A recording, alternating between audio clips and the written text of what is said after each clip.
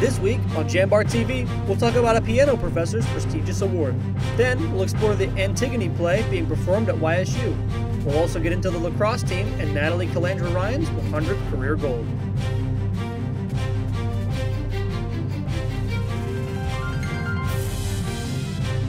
Hello and welcome into Jambar TV. I'm Molly Burke. And I'm Guy Tepsick. The Butler Institute of American Art will be presenting 14th May 1968 by French artist Pierre Soulages, April 15th in a private opening. The mural was originally commissioned for display in a Pittsburgh office building. Once the building decided to release the mural, the Butler was the first to receive it. Louis Zona, executive director and chief curator of the Butler, explained what the process was like. We had to get it off the wall in two weeks because it was an active lobby and they didn't want it looking like a construction site. And they didn't want any work done during the daylight hours. So we could only work at night to remove it. Removing the mural from that wall in downtown Pittsburgh was a miracle. The mural was then placed in a separate branch of the Butler. In 2019, the branch cut ties with the Butler but kept the mural. In December of 2022, the Butler won the lawsuit and brought the mural back to the Butler. Zona said the mural was always the butler's. The, the piece uh, belonged to us clearly, and nobody else had a, a, right to it. It's such a beautiful piece. I guess uh, you can see why there would be an interest in having the piece. But the artist and the people that own the building gave it to us. And in fact, we have all the paperwork. For more information about the Butler, visit its website. YSU's Board of Trustees approved a new policy regarding religion. The policy lets students miss class three times a semester for religious holidays. The policy was written in response to Ohio House Bill number 353, the Testing Your Faith Act. The bill requires all state universities and colleges to accommodate absences for religious ceremonies. However, this won't heavily affect YSU students. Mark Vopat, professor of philosophy and president of YSU's Ohio Educational Association, said instructors already had to excuse absences for faith-based events. We've already we've already had the means to give religious accommodation for pretty much everything. Instructors are required to provide a summary of the policy on their syllabi.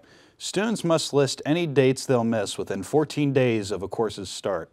More information on the policy will be provided on YSU's website.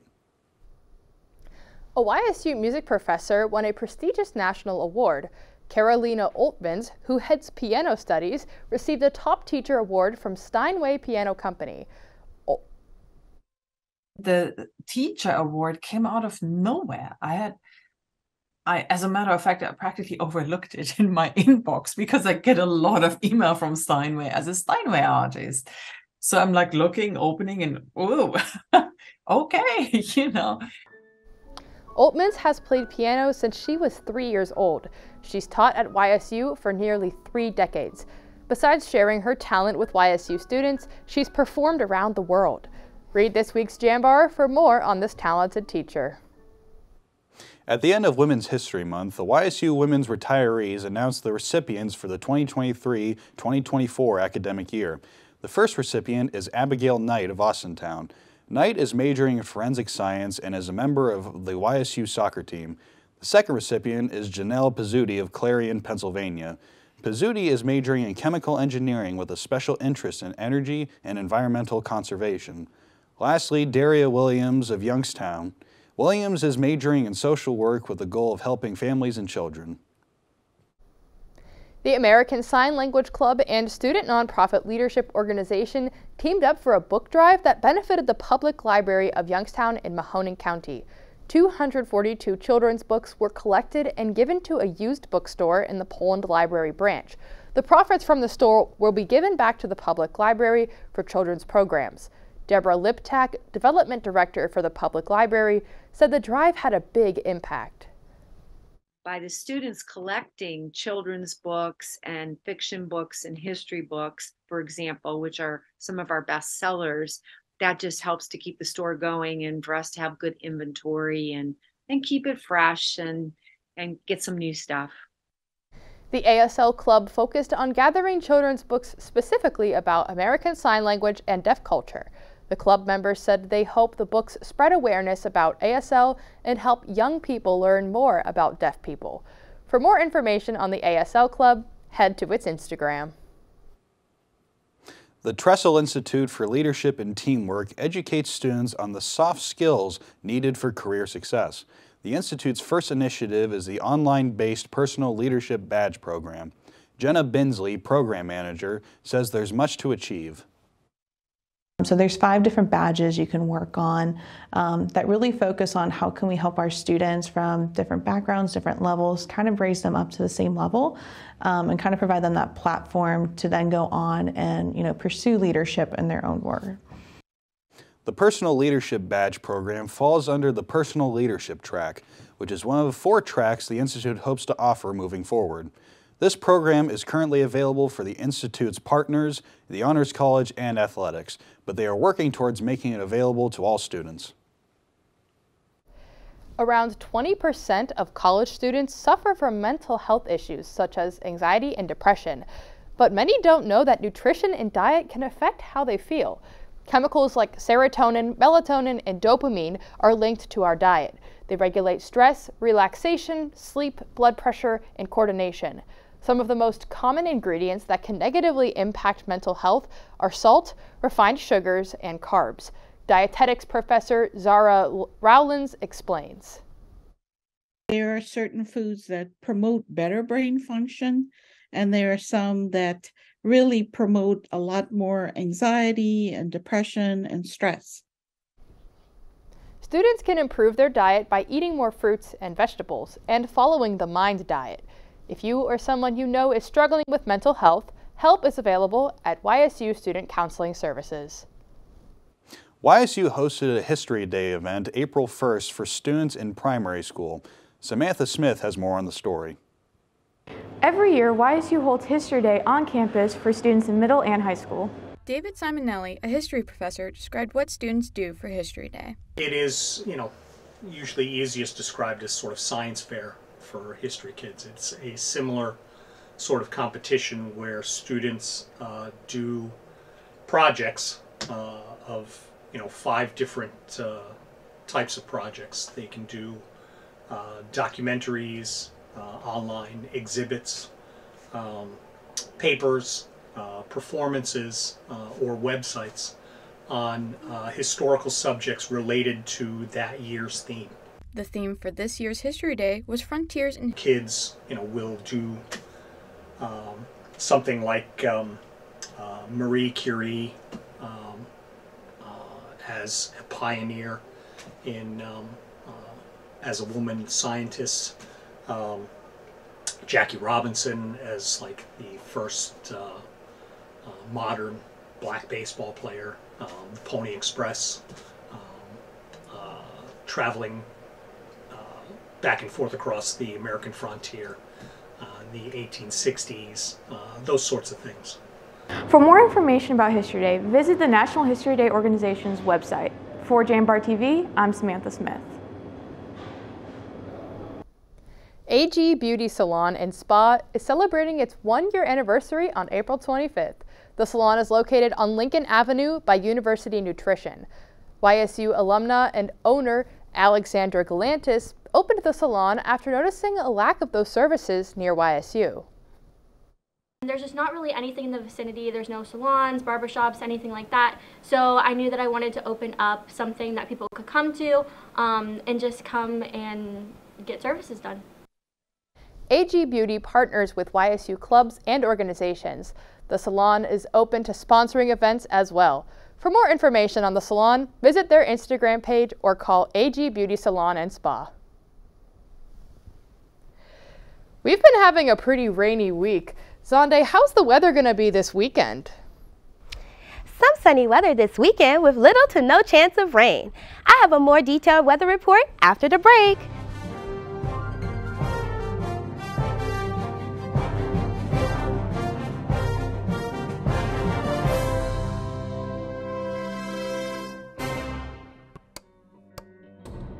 Communication department is much more than media or delivering a speech. The YSU Communication Department offers programs in telecommunication, journalism, and communication studies. We inspire creativity. We encourage each student's passion. We explore new and advanced technologies that connect the human race. The communication programs at YSU ensure that every student is prepared and experienced for the outside workforce, for life after YSU. Join the Jambar and find your voice when you tell the next big story. Become a host of Rookery Radio and gain hands-on experience, or get involved with TV productions like Light the Wick, Penguin Rundown, and Jambar TV. YSU's communication department is much more than a department, an education, or a degree. It's a home for passionate individuals, for students to find and pursue what they love.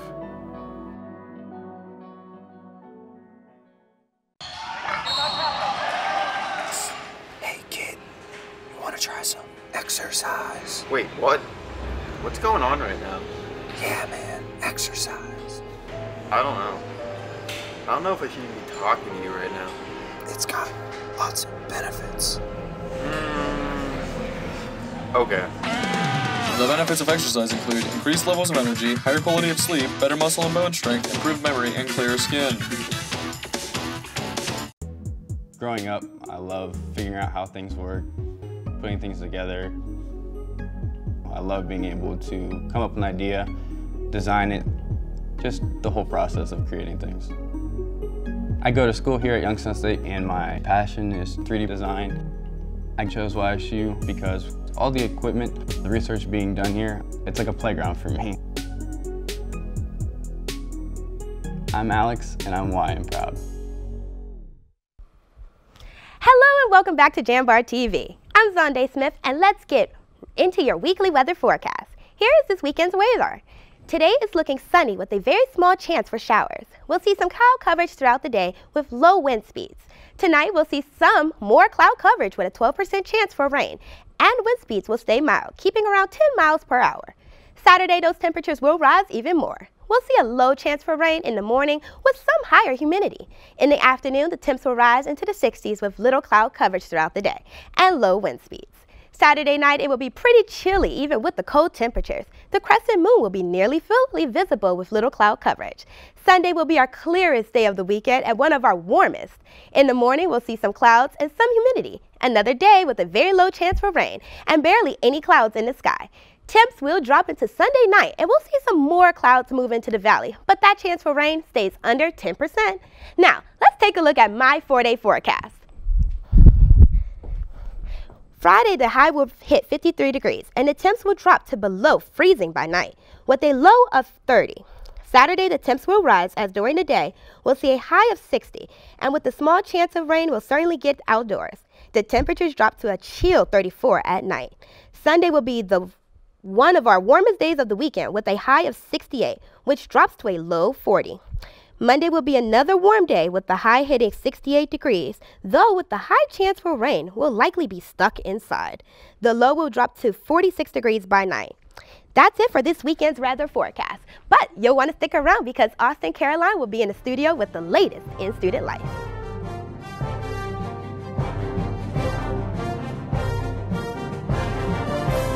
To see what the world has in store. It's more about what you have in store for the world. All you need is the opportunity. All you need are the resources of a large university and the advantages of a personalized academic setting where you can experience new worlds in the arts and sciences, business, and education and make them your own. We are where you shape your future. We are Youngstown State University and proud. You're looking to your future, preparing for your goals, and they're closer than you think. Because here, success is part of the plan. It's a place where academic and social opportunities are meant to prepare you for life, not just the next four years. You'll be equipped to face new challenges and turn hard work into a career. You're ready for your success to take root. And here's where it starts. We are Youngstown State University and proud. Growing up, I love figuring out how things work, putting things together. I love being able to come up with an idea, design it, just the whole process of creating things. I go to school here at Youngstown State and my passion is 3D design. I chose YSU because all the equipment, the research being done here, it's like a playground for me. I'm Alex and I'm Y and proud. Hello and welcome back into Jambar TV. I'm Austin Caroline and let's get into this week's student life. YSU has received additional don donations towards the new Zoldan Student Center. Paul McFadden, YSU Foundation president, said YSU is closer to their $20 million goal that will allow them to start renovations. We started slow in the fall. We were trying to look for a lead gift, and thank you to the Zoldan family for making a $5 million lead gift. Since that point, we've also acquired another $2 million, and I attribute that to the momentum that the Zoldan family gave us because success bodes more success. The new center will be updated for students to enjoy in the future. The timeline is still being worked on. Greek tragedies and themes of war and justice will be taking center stage in Bliss Hall this weekend. Editor-in-Chief Elizabeth Koss explores the anguish in Antigone. Based on Jean Anouilh's translation of Antigone, student performers here at Youngstown State University will be exploring the idea and theme of whether or not history repeats itself. The 1940s version of the play is set in France during the Nazi German occupation of the country. Megan Evans, who plays the titular role of Antigone, said that the play explores competing values in intimate ways. It's actually very personal, I think, um, and there's two sides that both believe so strongly in their ideologies. So it's really an exploration of two people with such strong ideas and how big major political world events can influence our own interpersonal relationships. The play, directed and selected by Todd Dicken, should surprise the audience and encourage conversations about today's current political climate. And the messages that are inherent in these conversations, I think, are still things that we're talking about today, whether it's on a global side uh, perspective, whether it's uh, on a, a regional perspective, or even within our own families. I personally, I'm super jazzed about this uh, to watch what these actors are going to do because I think uh, they're going to impress, uh, surprise, uh, and even shock some of some of their their family, their friends. The play will only be offered a few more times for viewing in Ford Theater, tonight at 7.30 p.m. and tomorrow at 2. For tickets, you can visit YSU's section of tix.com. Reporting for the Jambar, I'm Elizabeth Koss. The Butler Institute of American Art will have a grand opening of its new edition April 15th. It will feature a 14 by 15 foot ceramic mural by Pierre Soulages named 14th May 1968. Louis Zona, director at the Butler Institute of American Art, explains why the new edition is needed for larger art pieces. We need to store away major works of art until they become of interest to us uh, for a special exhibition. That's the key reason. But also we have oversized works of art, some very large works of art with uh, ceilings uh, too low to accommodate these works in, on display. The opening will also feature several paintings from Paul Jenkins. The International Student Organization held its first international festival on March 31st. Jambar reporter Molly Burke has more on the event. Students and staff gathered in the Chestnut Room of Kilcawley to dance, watch cultural performances, and eat foods that come from a variety of countries represented by YSU international students. Batul Alkaran, sophomore international business major, is the vice president of the ISO. She said the festival was created to bring international and domestic students together. We put the international festival because we really want to showcase our like um, traditional outfits, our traditional culture and beliefs. So we want to share with people, and also want to international student and domestic student to get along together and combine. Among the dishes at the festival was Turkish delight, vegetarian curry, egg rolls, and more. The ISO advisor, Nicholas Dubas, said the ISO worked with Chartwells dining service to create the evening's food. We've gotten recipes that we've worked really close with Chartwells, and um, they're going to go out and buy the spices, um, and you know we've been working with them to pick certain types of food within our budget. Many students showcased their culture or religion through performances such as dancing, singing, music, and more. More than 10 organizations and clubs set up tables around the chestnut room. Freshman biology pre med major Manav Desai both performed a dance and hosted a table for the Pakistani Indian Student Organization. He demonstrated some of the photos on his table. This is Kantara. This is from Tulunadu, eastern coast of India. In Kantara, it's a deity for a tribal village who protects and guards their village. This is processions for Ganesh Chaturthi, like they bring the holy Lord Ganesha into their home. And this is the Golden Temple. For more information on the International Student Organization, head to its Facebook page. Reporting for the Jambar, I'm Molly Burke. HackYSU is a beginner-friendly hackathon for students of all experience levels. This year's HackYSU will be April 14th to the 16th. Students group up into teams and have 36 hours to create a piece of hardware or software with mentors there to help. Last year, second year computer science major Nathan Gallagher said he worked on a zombie typing game with his team, which won first place. It was a typing game that had about four different levels of increasing difficulty. Um, basically, you were playing as the main character, and the zombies were coming at you, and you had to type the word above their head to eliminate the zombie and move on to the next level. We were not expecting to win first prize at all, um, but I guess the judges liked it, and we, yeah, we ended up winning the first prize, which was cool.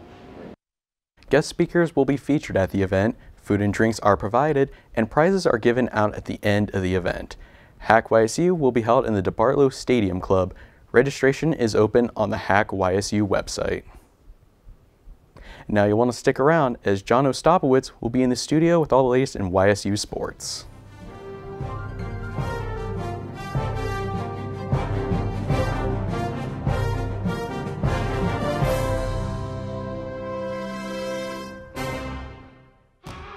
You're here to be part of something bigger, to make things happen.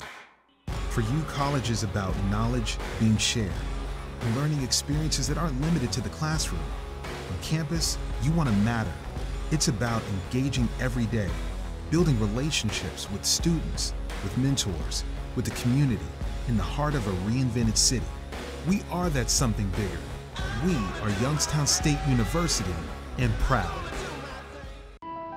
The feeling when my hands are on the piano, it's become comforting it's somewhere that I can express myself.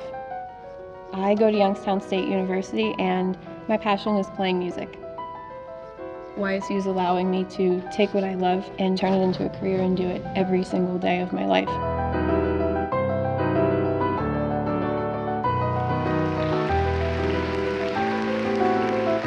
I'm Alyssa and I'm YN Proud. Growing up, I love figuring out how things work, putting things together.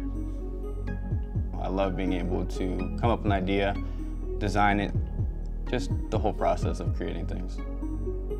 I go to school here at Youngstown State and my passion is 3D design. I chose YSU because all the equipment, the research being done here, it's like a playground for me. I'm Alex and I'm YN Proud.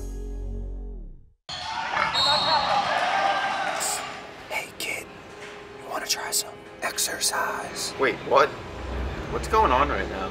Yeah, man, exercise. I don't know. I don't know if I should even be talking to you right now. It's got lots of benefits. Mm, okay. The benefits of exercise include increased levels of energy, higher quality of sleep, better muscle and bone strength, improved memory, and clearer skin. Welcome back to Jambar TV. I'm John Ostapowitz, and this is your weekly sports update. The Youngstown State softball team had a busy week playing four games over a four-day span. I went inside the Covelli Sports Complex to take a deeper look at the team's season. The YSU softball team split conference play at the softball complex against Oakland April 2nd. The Penguins were supposed to play a three-game series, but it was canceled on April 1st. With an outdoor sport such as softball, cancellations are not uncommon. Head coach Brian Campbell said he adjusts accordingly to make sure it doesn't affect the players. You know, it's one of those things that we deal with weather and you just kind of got to go with the flow. The First game of the doubleheader started off with a Youngstown State loss, 1 to 2. Despite the loss, the team bounced back with a win over the Grizzlies in the nightcap, 6 to 1. Both Conchetta Rinaldi and Jillian Jackski recorded two RBIs, while Avery Schumacher and Haley Niedekor recorded solo home runs. The Penguins learned from their tough loss, which Rinaldi credits the team's grit and ability to rebound after a tough loss. Um, but the second game, I really think we showed them who we were when we bounced back and uh, got a split with them. Youngstown State traveled to the University of Akron, but the game was canceled after a weather delay in the first inning. The Penguins stayed at home to take on Niagara University in a doubleheader on April 6th. For more information on that game, check out ysusports.com. Youngstown State is back in action against Robert Morris April 11th and 12th. Last weekend, the YSU women's tennis team played its first Horizon League games of the spring season, claiming a win over the Cleveland State Vikings 5-2. Women's tennis head coach Michael Solpiel said how great it felt to defeat the reigning conference champions. Last year was very tough for us because we lost here against that team, so it was really nice uh, to come back and being able to get the win here. The Penguins returned back to the YSU Indoor Tennis Center earlier today and played against the newest member of the Horizon League, Chicago State University. The men's tennis team won their matches against Chicago State last Sunday 4 3 as YSU picked up the doubles point and saw singles wins from Laurenttu Mondicescu Javier uh, Gonzalez Pla and Gabriel Moreno. The Penguins played against Cleveland State yesterday and will have a rematch against Chicago State at the YSU Indoor Tennis Center later today. The lacrosse team opened their conference play this weekend against the Mid-American Conference preseason favorites, Robert Morris, at the Farmers National Bank Field inside the Covelli Sports Complex. The Lady Guins lost in a tight 12-10 match falling 2 to 8 overall as Ali Corinne matched her career high of 7 points with 5 goals and 2 assists, while sophomore Natalie Calandra Ryan scored her 100th career point, becoming the first Penguin to reach this milestone with just 2 seasons of play. The Guins will be back in action against Akron on April 5th. You can go to ysusports.com for a quick game recap. In other news, the YSU baseball team returned to Eastwood Field for a seven-game homestand. On March 31st, the Mastodons defeated Youngstown State with a final of 21-9. On April 1st, the Guins defeated Purdue Fort Wayne 15-14 in thrilling fashion thanks to a walk-off single from Matt Thompson. The Mastodons defeated the Penguins 9-3 on April 2nd. On April 4th, the University of Pittsburgh came to town for one game and defeated the Penguins 13-7. Youngstown State will host three conference games at 5 p.m. on April 6th, at 3 p.m. on April 7th, and at 1 o'clock, rounding it out April on April 8th. To listen to the game, go to ysnlive.com or view live stats on ysusports.com. Now let's send it over to Exande for your weekly weather recap. With high temps and low chances for rain, this weekend's weather is looking good, but we will see some rain at the start of our week. Well, that's all we have this week for Jambar TV. Thank you for watching and stay safe, Penguins.